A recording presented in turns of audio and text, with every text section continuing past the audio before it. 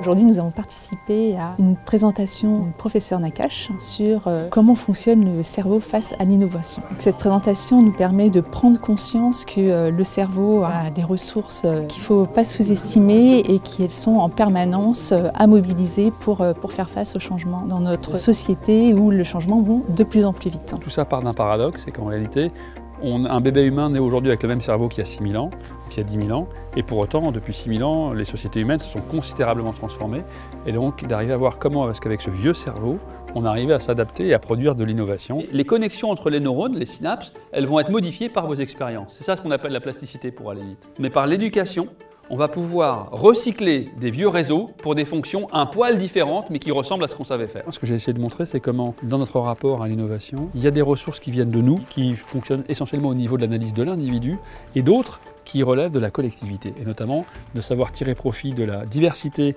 des façons de penser le monde des individus, et qui imposent également un principe de tolérance, de comprendre que ma perception du monde ne va pas être exactement la même que la vôtre, pour des raisons qu'on peut objectiver, qu'on peut comprendre.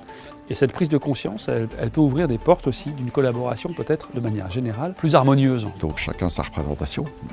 Donc quand on est tous ensemble, bah, il faut apprendre à communiquer et avoir conscience que l'autre, il n'a pas forcément, et c'est normal, euh, la même représentation que vous du monde. Pour Inotera, qui est tourné vers euh, l'innovation, comme toutes les entreprises aujourd'hui, c'est certainement un sujet sur lequel il faut euh, s'apesantir un peu. Ce qu'on voit du monde, c'est pas le monde.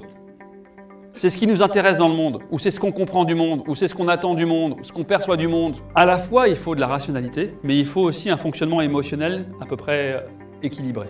Autrement dit, on a besoin d'une balance raison-émotion pour prendre des bonnes décisions. Bah, il ne faut pas sous-estimer l'émotionnel qui a un fort impact sur notre prise de décision et notre façon de voir le monde. Il y a l'efficacité et euh, la capacité au cerveau de produire, mais aussi d'intégrer l'émotionnel et d'en prendre conscience. Ça fait réfléchir sur euh, son cerveau, comment il fonctionne.